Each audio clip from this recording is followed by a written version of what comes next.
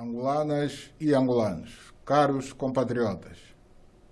desde que se tornaram públicos os primeiros casos do Covid-19 no mundo, no início do corrente ano, que o país se mobilizou e começou a tomar as medidas que na altura se julgavam as mais adequadas para fazer frente à pandemia. Desde os sucessivos períodos de estado de emergência ao estado de calamidade, Todos os nossos esforços foram no sentido de conter ao máximo a possibilidade real de propagação do vírus, ao mesmo tempo que procuramos não penalizar muito a economia nacional e os direitos fundamentais e o bem-estar dos cidadãos, exercício de equilíbrio nem sempre tão fácil de se exercer. Ao dirigir-vos esta mensagem,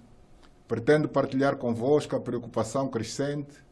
derivada do facto de, não obstante os sacrifícios consentidos por todos, mesmo assim, o país estar já com a circulação comunitária, com destaque para a província de Luanda. O nosso apelo vai no sentido de levarmos muito a sério esta nova realidade, com a qual passamos a conviver todos os dias nas ruas e em todos os locais públicos, sobretudo fechados e com alguma concentração de pessoas. Tenhamos todos consciência que não é o investimento em unidades hospitalares, em meios de tratamento e em pessoal médico especializado que nos vai salvar. A julgar pelo que observamos nos países industrializados e mais desenvolvidos do mundo, que mesmo tendo inúmeros recursos financeiros, os mais modernos centros de investigação científica, a mais desenvolvida indústria farmacêutica e outras valências, lamentavelmente, têm um número crescente de infectados e de mortos bastante grande. Esta triste realidade,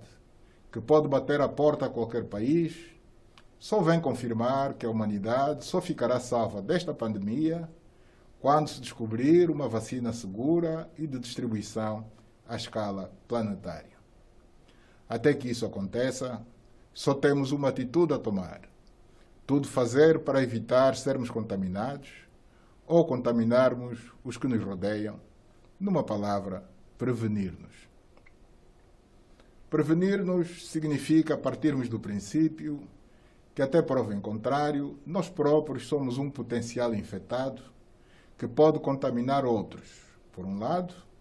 mas por outro lado, e também até prova em contrário, todos os que nos rodeiam são potenciais infectados e, portanto, podem nos contaminar. Se todos tivermos este princípio sempre presente, vamos nos proteger e vamos proteger a quem nos rodeia. Caros compatriotas, embora a cerca sanitária esteja sobretudo à volta da província de Luanda e de Dalatando, no Quasa Norte, devemos todos, de Cabindo Cunene, incrementar as medidas de prevenção recomendadas pelas autoridades competentes. Mantenha o distanciamento entre as pessoas, evite, na medida do possível, as concentrações de pessoas, evite todo tipo de afetos com contacto físico, lave as mãos com água e sabão ou com álcool gel tantas vezes ao dia quanto possível. Finalmente, e talvez a medida mais importante, use corretamente a máscara,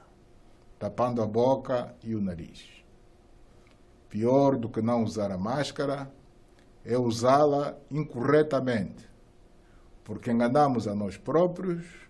enganamos a quem nos rodeia, enganamos as estatísticas da saúde pública. Lembre